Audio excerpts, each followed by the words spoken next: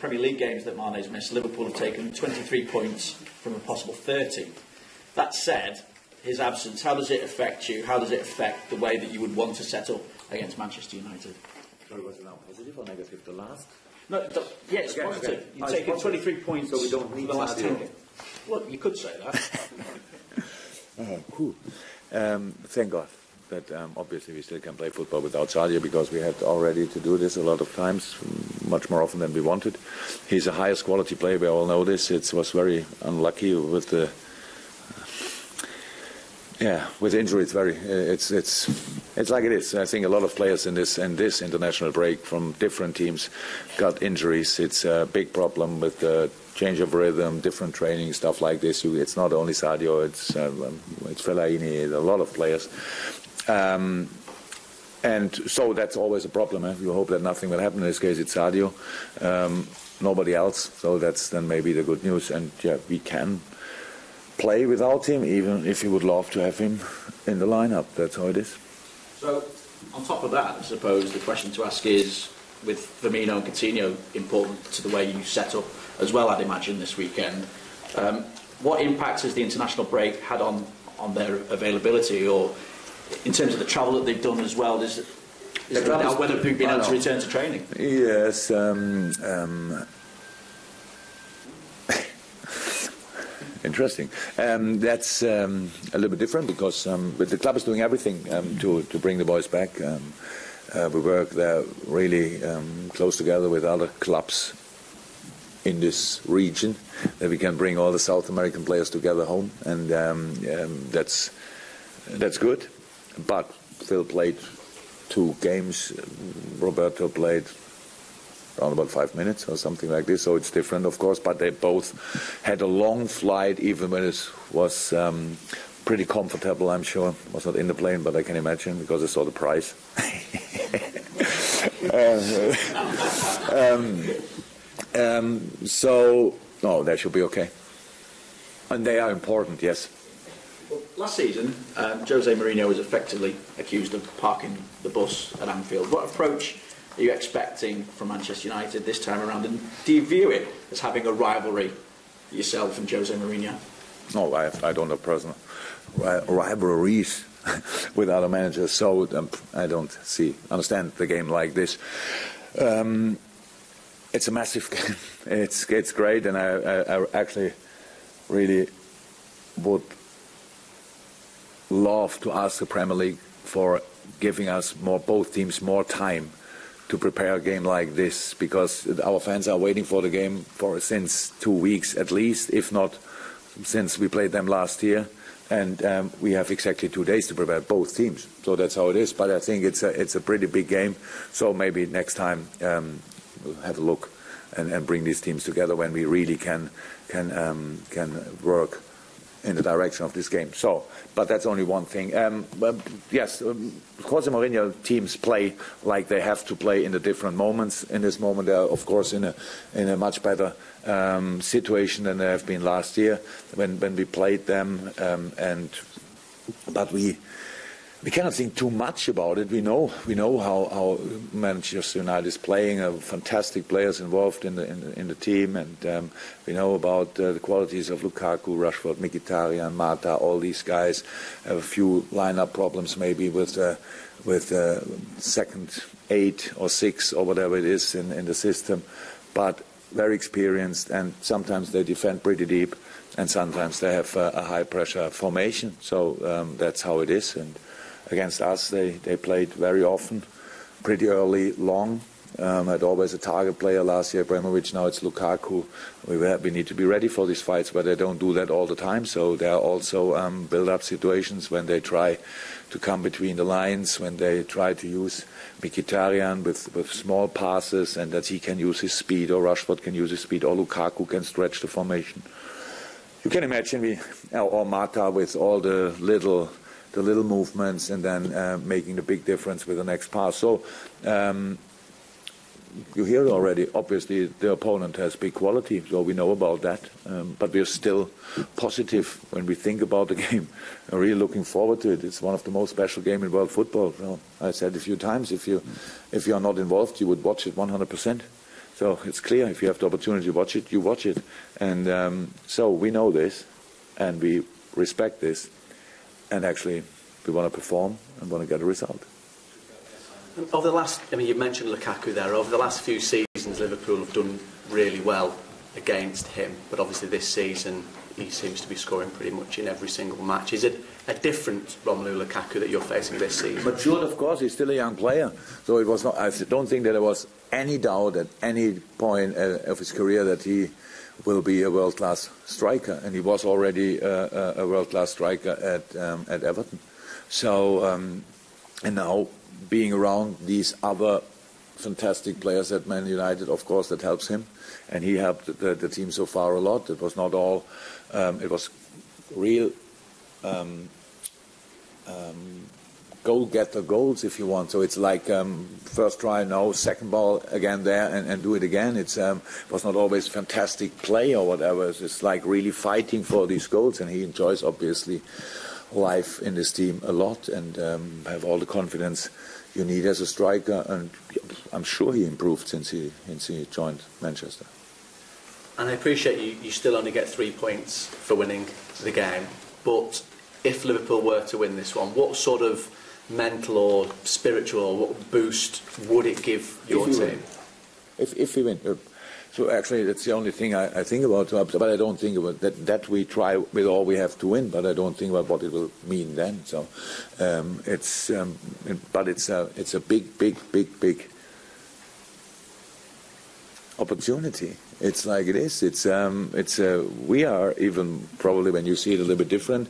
Uh, we are in a really good moment, not result-wise, not scoring-wise, but performance is not as bad as probably a lot of people think. So we are not so weak that we don't have to think we don't have a chance against Man United.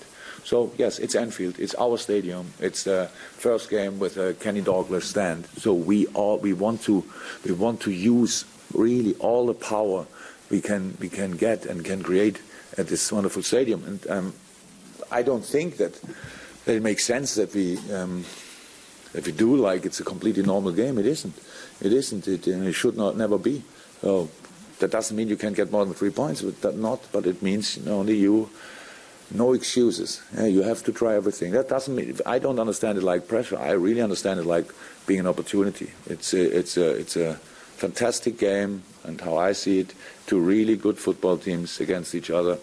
The weather should be good tomorrow, how I heard, so it's prepared.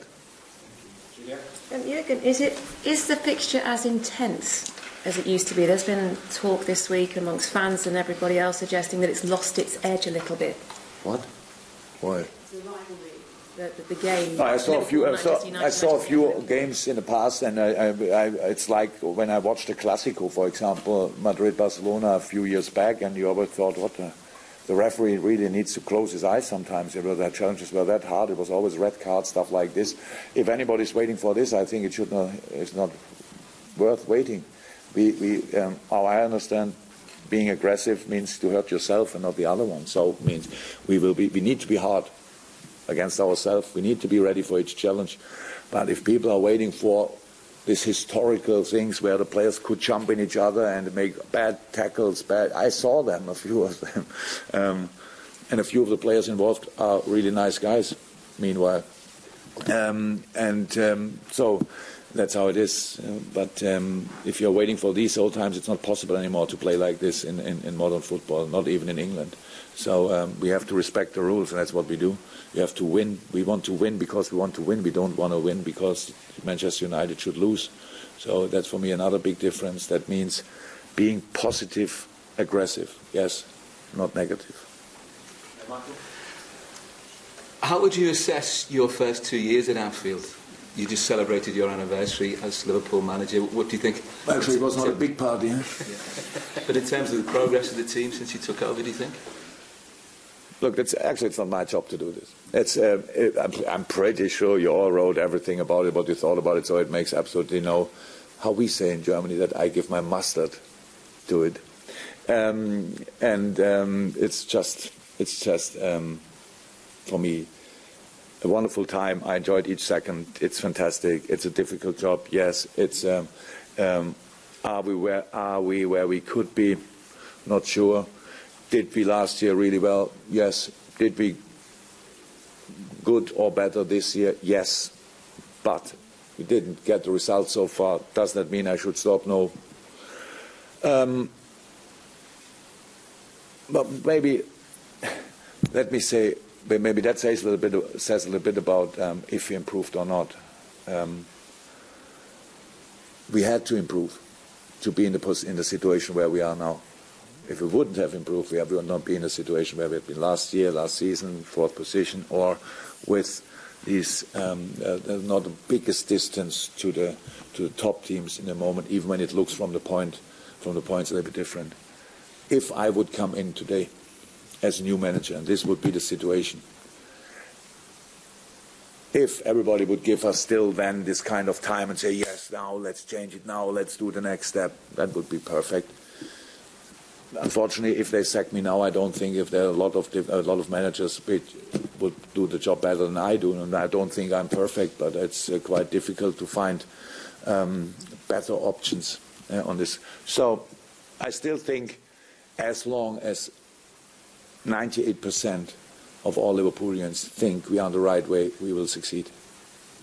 That's how it is. It's it's quite difficult. The good old times, not only Derby from the Derby side, jumping in each other, getting red cards, bleeding players, they will not come back. But the good old times when one team um, dominated the league for the for 20 years will not come back either. So that's how it is.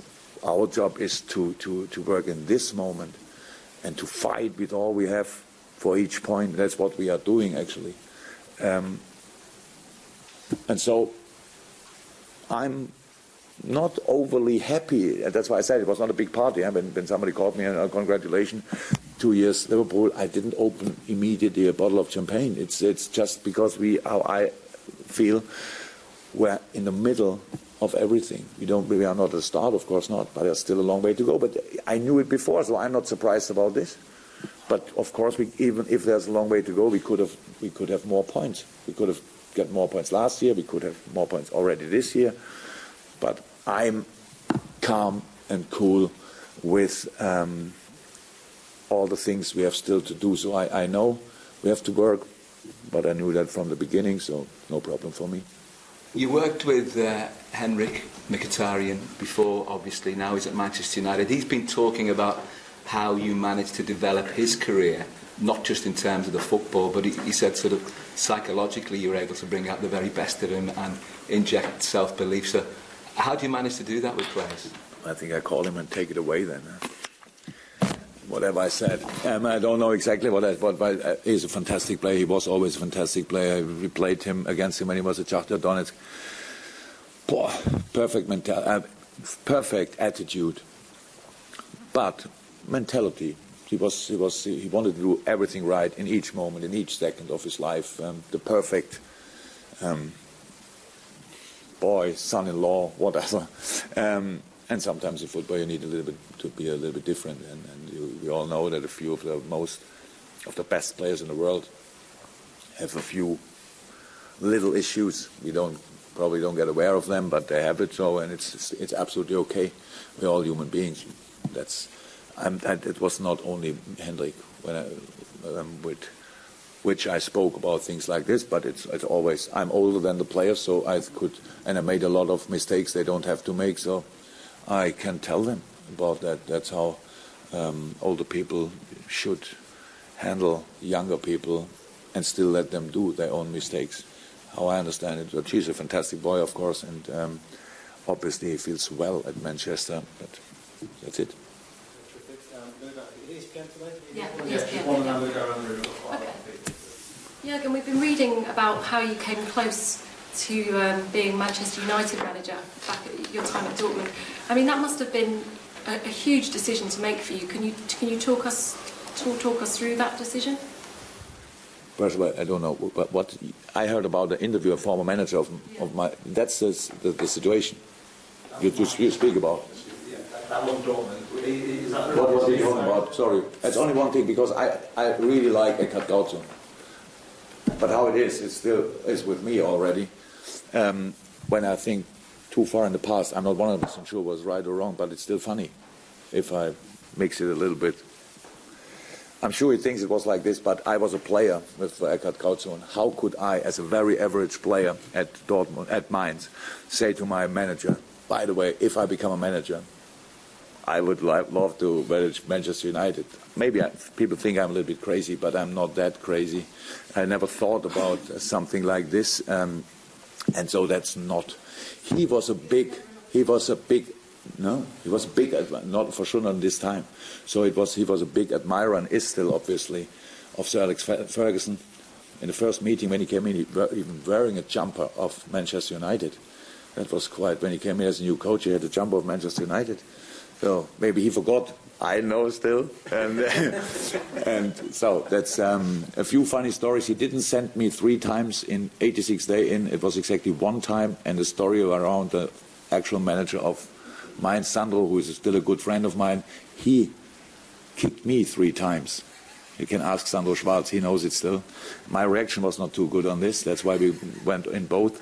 If he would have given us 5,000 euro or whatever um, as a fine, I would have played three months for nothing. So, unfortunately, a few things are not exactly, but still funny. I, I had I had fun when I read it, but um, not all of it is. Um, exactly like he said. Sorry. Uh, at the international break, we saw some stuff from Dejan Lovren talking about how the painkillers he's having to take to play games. His training is restricted. How are you having to manage him? And is it a risk playing we him? had. We had. Yeah, that's true. He had back problems. They, they lead to, to, to groin problems. That's if we could would come out every day and tell where the players have pain, and where they then and but they're still training, so you can't imagine um, how often that would, would be. It's not. Uh, we, that's why we have a big um, uh, medical department. They're always working with the players, and sometimes it, it, it, it makes them available, and sometimes not. And um, yes, it was. It, it's true. We couldn't train, but now uh, that's why he didn't play the first game for Croatia. We told him and uh, and uh, Croatian FA that it uh, would really make sense and uh, let him out of the first game because he needed a few days rest. In this moment, it looks like that was enough, but we couldn't give him that rest in the, in the moment, in that moment, and um, so we managed it. But he was always match fit. Um, otherwise, he wouldn't have played, of course. And um, so now he played the second game, 90 minutes. He's back. Everything looks fine. So that's it. So is that, is that no longer a, an ongoing problem? It's, it was no problem yesterday, no problem the day before yesterday. I don't know how it will be in a few days, but in the moment, everything is good. A few guests from uh, Adam Steve Rice, I was in the uh, check before I go around the room anymore. If there's any questions, PPTV, China, in the room, if you'd like to ask a question, raise your hand. Uh, and uh, I think brother from Discovery in South Africa, have you got some of the brothers, some of the UK observers? Uh, Hi, Ian. Just wanted to ask with the international break, obviously you lost one of your key players, uh, Mane. Salah, on the other hand, had a great time in Egypt, scored the two goals, got them through to the World Cup, and he comes back into the mix. And you've mentioned the little time that you have with the players now. What condition does he return with, and what are you expecting from him? Very proud. Mohamed Salah was talking about now, right? Yeah, very proud. Did anybody see the, the, the six-minute video about the, the, summary of the game when you saw? I never saw a celebration like this for 1-0 after 66 minutes. I thought it's a golden goal in the World Cup final. then 87 minutes they made the equalizer. Boom. Obviously not the nicest moment. And then 94 minutes. I never saw a celebration of a penalty like this and, until anybody said, by the way, we still have to score. And um, I nearly had a heart attack when I thought I had to go down there and, and, and, and take the situation that he, he did it. And um, I would say in this moment he's our number one penalty taker. He, that pressure was unbelievable. He did really well. And um, after 27 years, I think fantastic news for Egypt. Um, and that's a really good generation what they have there. So, so they should go to the World Cup. But how it always is, first you need to be qualified. So now they are there. Obviously, it's a good moment, but it's intense. In this moment, you see, it's the same for, for, for Sadio Mane. Best player of Senegal, with no doubt. So how can the players? They don't have no chance to, to, to, to get away from the situation. Eh? So they have to be always there and spot on. In this moment, so Sadio had got an injury, and that could could mean he's not involved in in the game when, when, when Senegal. I'm sure they can they can make the qualification without him. They need only one point, I think, from two games, so that should be possible. Um, but that's how it is. Eh? So um, England played a friendly game, and um, in this friendly game on a, on a, on a artificial surface, it was a qualification game, but they were already qualified. I was not happy that Hendo was on the pitch, to be honest, with all the problems he had in the past. I thought it makes no sense. Um, and um, so we, we, are, we cannot be involved in this. It's, it's like they all make their own decisions. So, no, no national, no manager of a national team asked me so far before a game, how would you line up?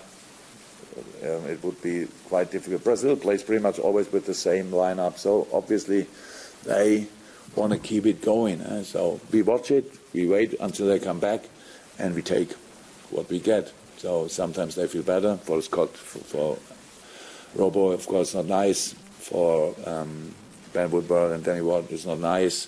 But um, it's like it is, and um, that's how why I said it, sometimes would, I really would wished I wish that we could have had more time until such an important game and to, to make the preparation. But no, it's our job, it's our challenge. Same for the other team. Let's go.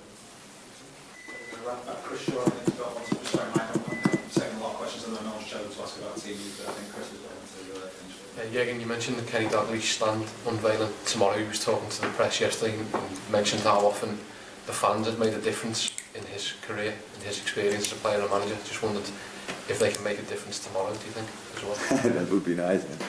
Um, he was here yesterday with his son, so it was nice to, uh, to have a little chat. Uh, what a wonderful um, guy he is, big, big role model for pretty much everybody. So, um, meanwhile, I, I understand him. So I'm long enough in England to understand his Scottish. So that's uh, that's um, that's good. Now we have real conversations. At the beginning, where I was only friendly, smiling. but now it's really, it gets more, becomes more and more interesting. So fantastic, fantastic person. Yes, he's right, but I think made, that were different times again. So it was uh, these these generation with him as a player and then him as a as a manager. What uh, what a generation that was. It's it's nice to have. It's nice to have them, but he knows that time changed. In a moment when everybody anybody else knows also, then it then it helps. But we all felt it already. Um, European nights at Anfield are still outstanding. All 12 o'clock games, 12:30 o'clock games at Anfield. Could we improve? Yes. So it's Man, Man United. Maybe we should switch the watch a little bit um, in the right direction and feel like it's 8 o'clock at night and go for it. So um, we know we have to deliver, but uh, everybody who wants to help, very warm welcome. Yeah, we could need it. Okay, guys, thank you very much for coming. It. Welcome.